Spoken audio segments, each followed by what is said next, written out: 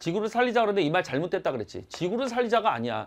지구는 인간이 아무리 파괴해도 망가지지 않아요. 전에 얘기했잖아. 망가지지 않아. 지구 멀쩡해요. 행성이 들이받지 않는 이상 뽀개지지 않아요. 달 정도가 와서 들이박으면 뽀개질까. 인류를 살리자 합니다. 인류를. 인간을 살리자 이거지. 왜? 지금 이대로 가면 끝나요. 생물 다양성 파괴도 있지만 그리고 여러 쓰레기로 환경 오염 문제도 있지만 가장 큰 위협은 뭔지 알아요 지금? 기온입니다. 기온 상승. 기후변화입니다. 기후변화. 어마어마합니다. 참고로 얘기할게. 1만 년, 1만 년 빙하기부터 지금까지 지구의 온도가 4도씨가 상승해요. 근데 인간이 산업혁명하고 난 다음에 100년 동안 지금 1도씨가 올라갔어요. 그러니까 이때를 보면 이거로 바꿔줄게. 2500년 동안 1도씨가 올라간 거거든. 근데 지금 100년 동안 인간에 의해서 1도씨가 올라갔어요. 너무나 빠른 기온 상승입니다. 이게 심각한 위기입니다. 만약에 여기에 지금 한 20년 정도 지나면 이 속도로 가면 1도씨가 더 상승하거든요.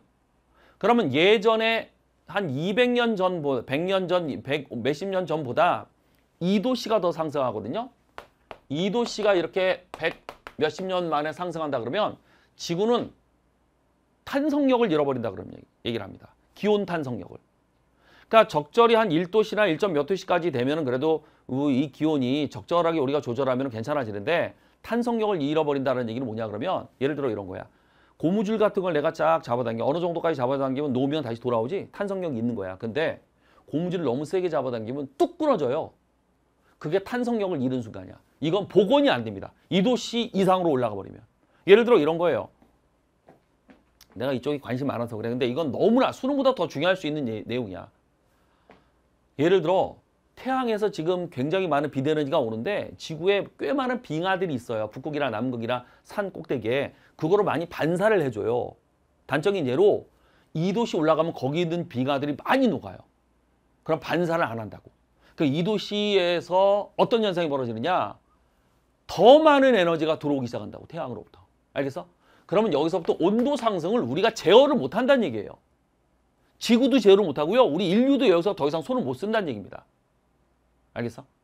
그럼 무슨 일이 벌어져? 그럼 시베리아 동토에 있던 그 눈들이 녹아버리면 또 어떤 일이 벌어지느냐? 거기 시베리아 맨 땅에 갇혀 있었던 이 빙하 밑에 있던 눈 밑에 있던 그냥 맨 땅에 메탄들이 올라오기 시작해요. 많은 동물들의 그 썩은 사체들이 아직도 빙하기 그, 그 상태로 그대로 있는 게 많은데 메탄이 올라오면 끝장이에요. 이산화탄소의 수배의 온실 효과를 나타내는 겁니다.